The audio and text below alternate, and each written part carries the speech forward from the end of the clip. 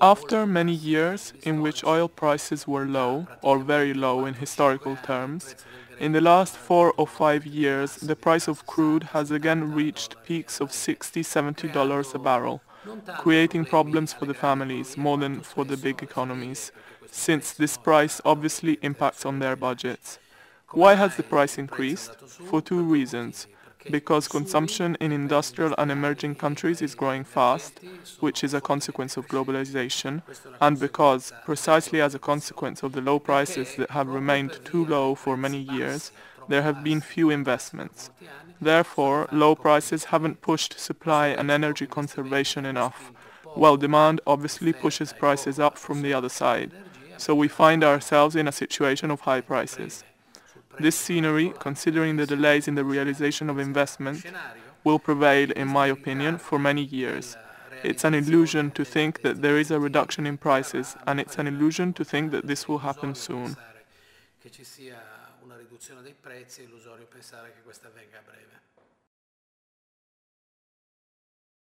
È molto improbabile it's very improbable that in the current technological and social situation anyone will find miraculous solutions. I don't believe so at all. There is, however, an approach that is often neglected, which is capable of providing what in jargon is called the most important source of energy. This approach is saving, the saving of energy. Very interesting calculations show that if the US vehicle park became more efficient, each year an amount equivalent to Italian consumption could be saved in a very short time. Here in Italy, transport infrastructures are still evidently obsolete. Think of high-speed trains and the like. I believe that while we wait for supply to increase, but let's not forget that oil is a finite source, as is gas, so it's not possible to continue to consume it indefinitely, the main way to follow is that of energy saving, which depends on everyone's behavior and on big investments on infrastructure, transport, housing and so on, and could, quoting the calculations I mentioned before, have amazing results.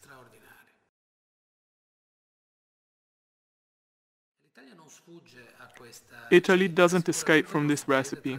Surely our country is traditionally efficient from the energetic point of view, also because for a variety of reasons prices here have always been quite high as a consequence of taxation. However, there is a lot to do here as well on the saving front, and I think that with serious public policies and equally serious private behavior, this strategy can take us very far, with widespread benefits.